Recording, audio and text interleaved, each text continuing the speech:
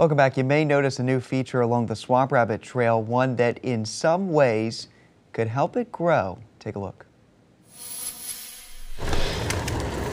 A bike ride or walk now features a display counter along this section of the Swamp Rabbit Trail off Willard Street in Greenville. I love the counter. I think it's pretty neat how it's actually uh, differentiating cyclists and walkers. Bike Walk Greenville came up with a proposal early last year.